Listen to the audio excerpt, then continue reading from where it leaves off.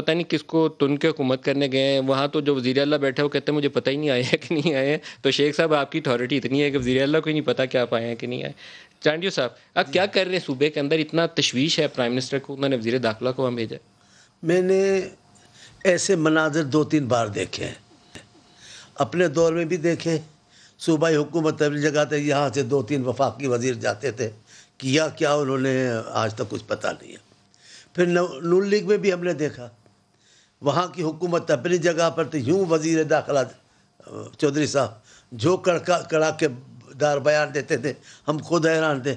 अभी यूँ करने वाले, अभी फिर उसके कुदरत में उस मुकाबले में था। मैंने कभी कर लो।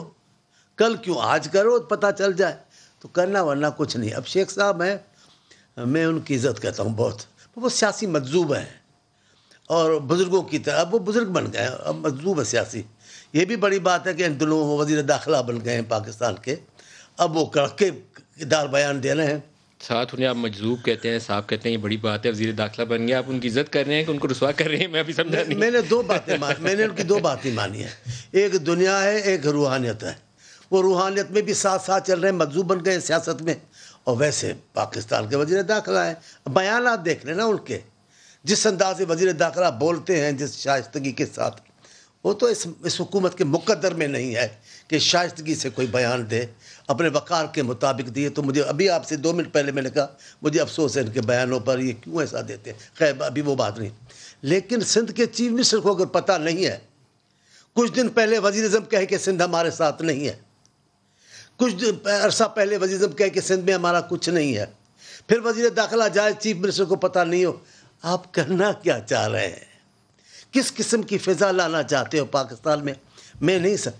इनको सुकून चाहिए। इनको अफरा तफरी का खात्मा चाहिए। जिस किस्म की पाकिस्तान की मैशियत है, जिस किस्म की पाकिस्तान में सियासी फ़िज़ा है, इनको तो मुफाहमत की फ़िज़ा चाहिए। वज़ीर साहब साहब से लड़ कौन रहे हैं? वज़ीर साहब खुद ही, खुद से लड़ रहे हैं। हमारे यहाँ तो कोई नहीं है। सब तो गैर मौसर कर दिए गए हैं। अब एन आप नहीं दोगे, लड़ाई आप नहीं आपको तंग कौन कर रहा है? ये तो कोई अपने ही लोग हैं जो आपको नज़र नहीं आए, जो साय की तरह आपके साथ हैं और वो साया आपको डरा रहा है। कुछ भी नहीं है, आप मुफाहमत की फ़िज़ा पैदा करनी चाहिए ताकि सियासत आगे चले इस मुल्क में।